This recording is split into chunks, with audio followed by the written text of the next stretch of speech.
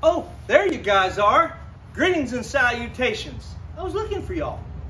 Titanium Tim, 18, here in beautiful DeLeon Springs, Florida. And it's a beautiful Sunday morning. And I know what you're saying to yourself, Tim, what is that boat behind you? You're a kayak guy.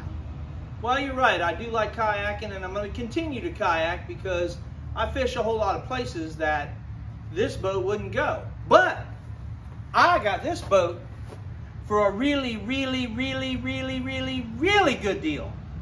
I can't tell you how much, but let's just say it was under a dollar. Anyway, it is a 1997 Wellcraft 160 Fisherman. That means it's 16 feet 1 inch long. And in the back there, and it's the center console, and in the back there, I got a Johnson 90. Now, it's a two-stroke saltwater edition. And I'm gonna tell you right now, that boat, that motor will push this boat darn near 50 miles an hour. This is a quick setup, but I'm gonna go fishing with it, joyriding with it, go to the Glen with it, but uh, it's gonna be an ongoing project, so I wanted to include you guys in this project. Now, before we get started, I wanna know a name.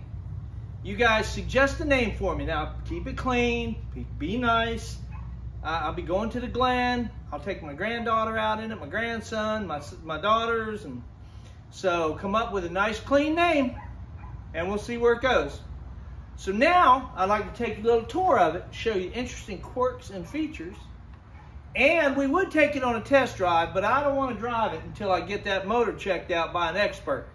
It runs, but I want to make sure the oil injectors are working and everything's working. So without further ado, I'm going to come get you and we'll take a tour. Hang on. Okay, so now I'm gonna take you a tour of this little bad boy here. In the front, we got this little storage spot here. That's an anchor storage. Very good little spot, locks in place. Up here, I got a seat where a seat fishing seat goes, but I gotta fix that. I'll show you. Uh, this lifts up. Huge storage up here with a drain hole I could plug that and make out a fish cooler. But as you can see there, see all the spider cracks and stuff? What I'm gonna do is take this out. I'm gonna put a piece of plywood in here, nice big piece of plywood, and I'll glue it in here gingerly. And then I'm gonna put a new one on here with stainless steel hardware. That way we won't have that problem again. And it wobbles a little bit, I gotta, I gotta fix it. Yeah, it's loose, no problem, I can fix that. You come to the center console, there was a seat there, but I can put a cooler there to act as a seat, so it'd be good. I got a windscreen here. I got to replace this windscreen. It's spider cracked. That's no big deal. Here we got a little bit of storage for a couple of tackle boxes or whatever. Okay.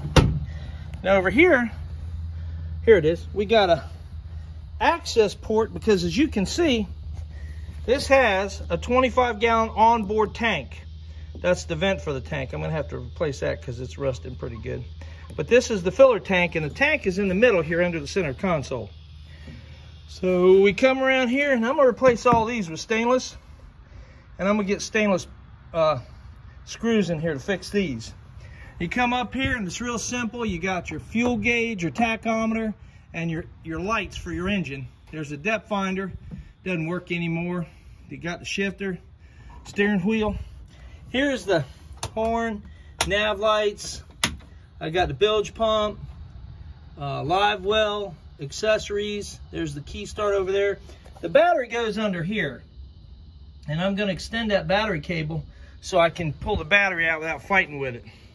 And the seat here in the center, as you can see, I gotta have this fixed, but the bottom seat's in good shape. And if you flip it up, if I can flip it that way. Flip it up that way, and now it's a cooler or a live well, whatever you want to do with it. I got to clean it out, but it's in real good shape. Come back here and on this side, and these are all I'm going to replace these. Got a rod holder on this side. Got storage over here. I got to clean that out. And that's the access. There's two bilge pumps down there. That's the water separator for the fuel. I got a new one to put on there. And here's the 90 with the power trim and tilt. So it uh, it lifts up by itself because I can't lift that dead gum heavy thing. Come over on this side. Here we got the oil tank for the oil injector. Got an oil in there and funnel and all that.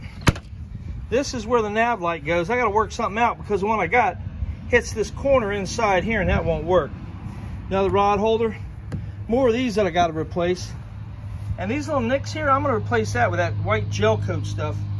I ordered a gel coat repair kit. I got one here, one here. As you can see, it's a little dirty on the inside, but it ain't too bad. Nothing that little TLC won't take care of.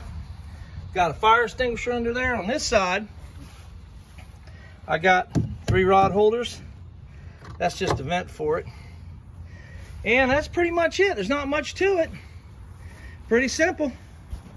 I'll tell you this, my truck pulls it real well. Pulls it without a bit of trouble. I really, really pull it good. Ugh. All right, so that's pretty much it. Got the wheelie to get it up off of that. I'm gonna store it at my buddy's Ray's house for a, a month, and then I'm gonna put it in the water. So I'm gonna get to cleaning up on it, and I'll show you when I'm done. So stick around.